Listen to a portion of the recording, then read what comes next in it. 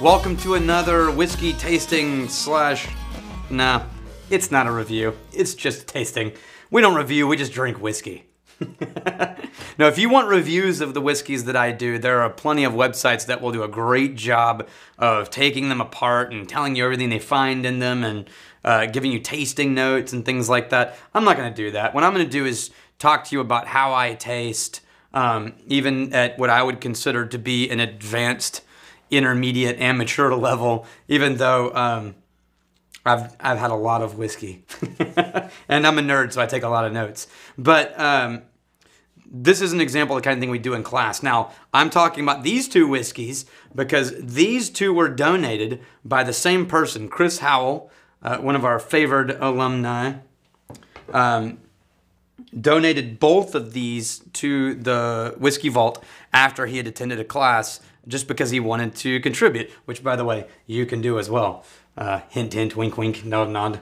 Um, instead of comparing Talisker to Talisker or Talisker to Scotch or Colonel Taylor to other bourbons, I'm just going to compare the two he sent us and side by side. Now, this is an example of what I talk about you can do at home. You don't have to have a nine deep spread of scotch or a, a nine deep spread of bourbon to, to practice tasting. You can just have the two bottles you have at your house. Just pour one of each in a glass, right? With friends, it's more fun, but you know you can do it alone as long as you have high self confidence. Um, you can you can pour one of each and then just go back and forth, trying to figure out the differences between the two. It'll highlight the things in bourbon that aren't in Scotch. It'll highlight the things in Scotch that aren't in bourbon. It'll uh, Here's a great one. It'll do a great job of teaching you the difference between the effect of wood on whiskey and the effect of smoke and peat on whiskey. A lot of people get those mixed up, right? Now, my usual example is that because the brain is built for imagery and phonetics, uh, if you're trying in any whiskey to discern between smoke or wood, the effect on that whiskey. If you think of smoke as having sharp edges and wood as having round edges, sometimes that helps me. Now, depending on how you taste or what you find, you may find that to be different. But I seem to notice that when I taste a dramatic, powerful flavor, but it has round edges, then it's usually the wood that's affecting it. And if I taste something that's really dramatic and has sharp, pointy edges, it tends to be smoke. That's just something that I use. Take it or leave it if it helps you. All right. Now, let's pour a little bit of each. So this is Colonel Taylor, E.H. Taylor, small batch. This was a gift from Chris Howell. This is from the Buffalo Trace Distillery. It's good stuff. Actually, they just released a new one that's a wheated um, bourbon that I'd really like to try. Maybe we'll do a video on that sometime after this. So that's the Colonel E.H. Taylor bourbon. This is Talisker 18 specifically. Now, I am biased in favor of Talisker because I tend to prefer Scotch whiskey. Um, and I really love Talisker. So it's going to be hard for me to, to lean towards uh, Colonel Taylor. If Tom Fischer, our friend from bourbonblog.com, were here, he would be the guy who could, who could do this one justice. But, you know, if you don't try, you never achieve.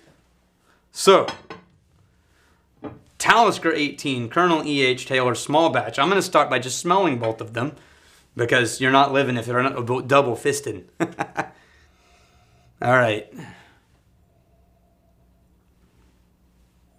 Now that is the scotch, and wow, that's the bourbon immediately. So Remember, bourbon has to be at least 51% corn, and corn tends to be much sweeter than a malt barley only whiskey, which is what single malt scotch is, right? So if you're trying to blind taste these, you know, switch them around, pretend like you don't know which is which. The first one you pick up and go, wow, that's much sweeter. Yep, yep. And oh, there's smoke. Well, that's not hard. Uh, it would.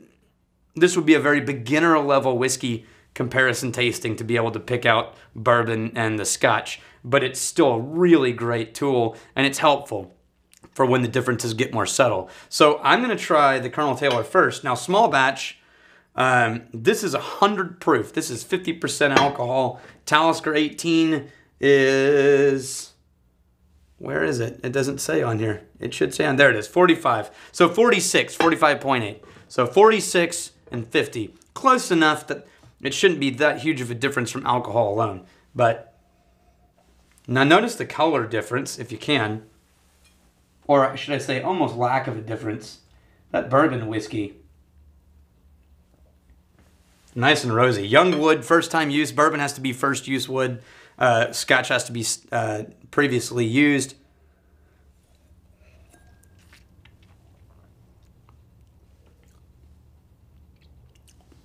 Ooh, that is good. So that small batch, even for being 100 proof, is really mellow. Now, because I got in through the gateway of scotch into whiskey, I tend to find bourbon um, often too aggressive in, in the wood flavors.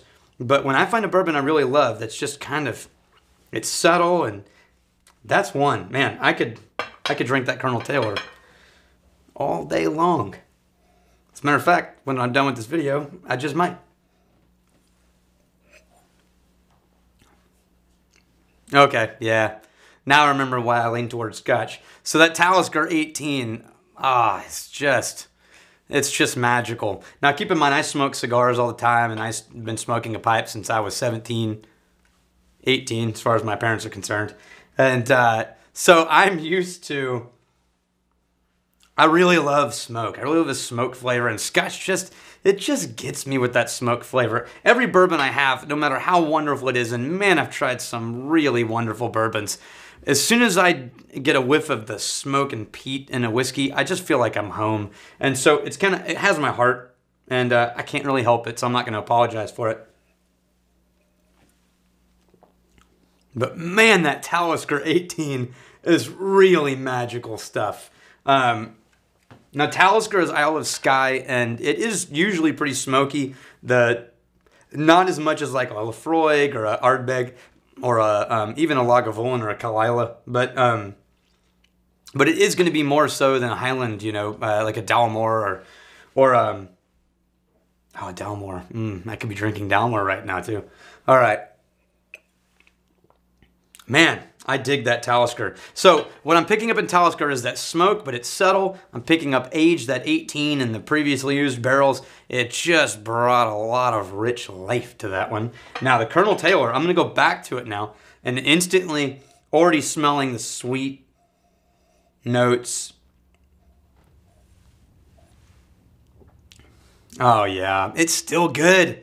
It's still good. Okay, so if you tend to lean towards sweeter whiskeys, then uh, man, this is a damn fine whiskey. Thanks, Chris. Uh, I'm leaning towards more smoke because uh, that's just kind of the direction that I head in whiskey. But either way, you're going to have a good whiskey. So thank you, Colonel E.H. Taylor. Thank you, Talisker, for another lovely tasting. Hope that you got something from it. We'll see you the next time.